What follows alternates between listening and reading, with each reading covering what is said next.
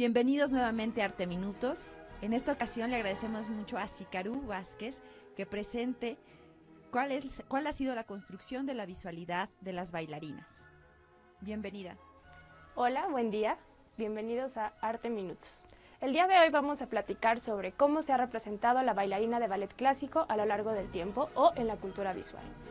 Comencemos en el siglo XVIII con Marianne de Coupy Camargo, una bailarina de la Ópera de París que comienza a bailar por un accidente. Ella llega al escenario cuando un bailarín no puede entrar a escena y se pone en el escenario a hacer una serie de saltos. Marie Camargo, conocida como una de las primeras feministas dentro de la danza, es representada por el pintor Nicolas Lancret.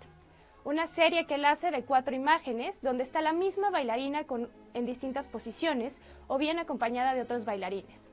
Marie Camargo se presenta con una falda que llega hasta media pantorrilla. Ella es conocida por cortar el vestuario, ya no vamos a hablar de estos vestidos gigantescos que se veían en la ópera. Camargo, como la primera feminista dentro de la danza, va a cambiar los pasos, va a atreverse a aparecer sola en el escenario. Posteriormente, ya en el siglo XIX, con este ideal del ballet romántico que comienza en, 1830, se ve la figura de Marita Glioni, la primera sílfide, una bailarina que está vestida de blanco, con alas y con una tez que pareciera que está a punto de morir, como este ser irreal o fantástico. Marita Glioni se reconoce por utilizar la primera vez las puntas. En esta escena de la sílfide, donde ella se enamora de un escocés. A la par de Marita Glioni, también en el ballet romántico, apareció otra bailarina, Fanny Elsler. Fanny va a presentar otros repertorios. Va a acudir hacia los temas folclóricos, estos temas de los ballets españoles como la cachucha, que van a representar este ideal del nacionalismo, de cómo representar lo folclórico en un ballet. Fanny, a diferencia de Taglioni, que, se va que va a permanecer en Francia y en lugares de Europa para presentarse en los escenarios, ella va a viajar a América y se va a convertir en el primer referente de la danza, tanto en América Latina como en América del Norte. A partir de estas representaciones que se tienen de Fanny Elsler y de Marita Taglioni, van a comenzar a presentarse más bailarinas. Posteriormente, alrededor de 1870, las bailarinas rusas e italianas van a comenzar a llegar a América y se van a presentar también, pero ahora en fotografía.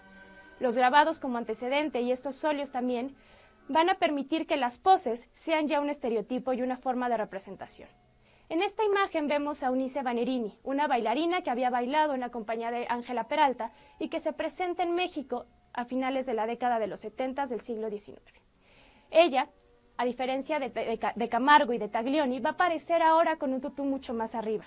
Las bailarinas ahora van a presentar sus piernas y sus cuerpos. Ella va a permanecer en las zapatillas de punta. Sostenida por un arnés por los tiempos de exposición de la fotografía, va a posar de manera muy seria, pero imitando estas concepciones que ya había plasmado tanto Taglioni como Elsner. Esta imagen, que vamos a ver repetida en distintas en distintas ocasiones, va a ser también utilizada por bailarinas muy famosas como Ana Pavlova. También volvemos a ver el referente de las puntas. El tutú va a seguir más arriba y ahora como un tutú clásico, tomando como referencia que ahora el ballet ya es parte de la nueva propuesta rusa. Los brazos van a ser mucho más estilizados. Vamos a cambiar de un cuerpo más robusto a un cuerpo más delgado, como lo había planteado en su momento el ballet romántico. Ana Pavlova va a reconfigurar la forma en la que vemos la danza. Los movimientos ahora serán libres y la imagen del cisne va a revolucionar la manera en la que habíamos visto a la bailarina. Sin embargo, ya también en el siglo XX, las bailarinas van a tomar otra concepción. Vamos a encontrar bailarinas de clásico que también van a permanecer en otros escenarios, en la zarzuela o en la opereta.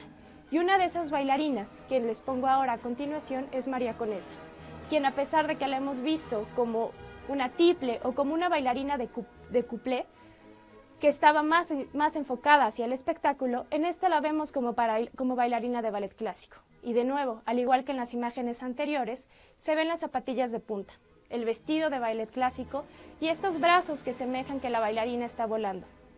Esta imagen, de esta forma de representar a las bailarinas ha sido una constante. Los modelos de representación desde Camargo hasta bailarinas como María Conesa, ha sido la misma.